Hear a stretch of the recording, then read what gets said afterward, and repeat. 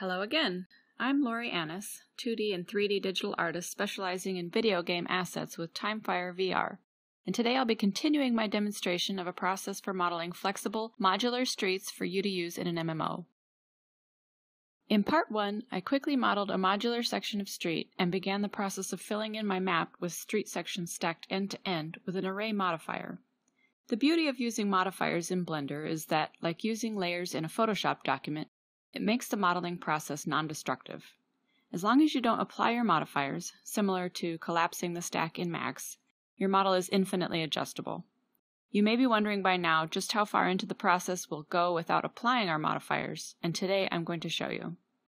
Once you have your general straight sections laid out, you'll be prepared to tackle winding roads and turnabouts. The way I achieve this is by first adding a NURBS path curve object to my scene, overlapping and aligning it with the end of the street section I want to make curved.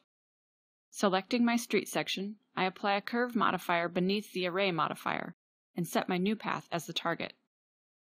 Selecting my path in the top view to constrain my movement in the X and Y axis, and entering into edit mode, I can now use individual vertices to control the shape of my path.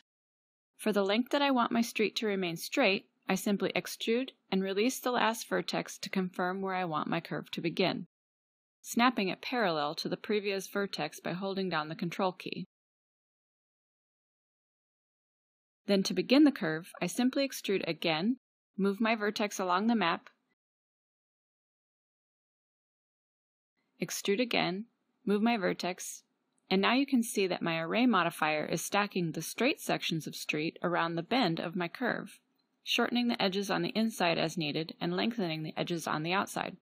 Again, at this point the curve is fully adjustable, so tinker with it to find a sweet spot between too much distortion and too little curve. Keep in mind that we're taking a modular approach here, which means that we have essentially created a puzzle piece to snap into place. In some cases, you'll prefer to model, unwrap, and separately texture every possible curve, maybe one C shape for each direction, one S curve, 90 degree turns for left and right, etc., and every possible intersection or dead end, and then restrict yourself to that set. There's nothing wrong with that approach, but it is severely limited, much like giving a kid a box of toy train tracks. Your map artist can only do so much.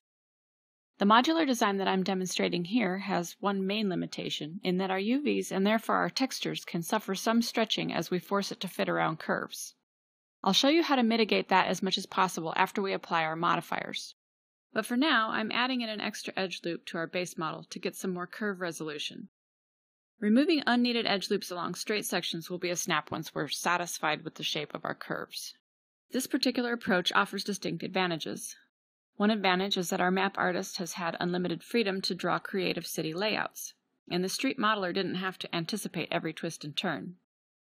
Another benefit to the design I'm demonstrating is that by repeating UVs seamlessly, we can leverage tiling architectural materials layered over one another to break up repetition.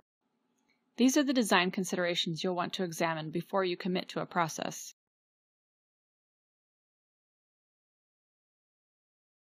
Now that I'm happy with the overall shape of this street section, I'm applying the modifiers from the top down. Array first, curve second. Entering into edit mode, the first step to optimizing this section of street is to remove the duplicate vertices that are now overlapping at every adjoining piece by using the remove doubles operation. Watch the notification text at the top of your window to make sure that the doubles were actually removed, and if needed, increase the merge distance one or two steps, checking before you move on to make sure that you haven't collapsed any geometry unintentionally. Simply reduce the merge distance a bit if you collapsed too much the way I have here. If this street were complete, I would continue with further optimization, removing extra edge loops, correcting stretched UVs, and converting n-gons into quads. But in this case, I still intend to cut an intersection into the piece, which I'm going to do with a series of Boolean operations in part 3 of this tutorial. So for now, I'm quickly filling in the non-manifold edges with an n-gon, and then double checking that my shape is enclosed by attempting to select any non-manifold edges that might be hiding. That's it for part two. Please join me again next time when I'll wrap up by demonstrating a quick method for joining two pieces at an intersection with diagonal cuts at the corners. and I'll discuss final considerations to make your meshes clean and game ready.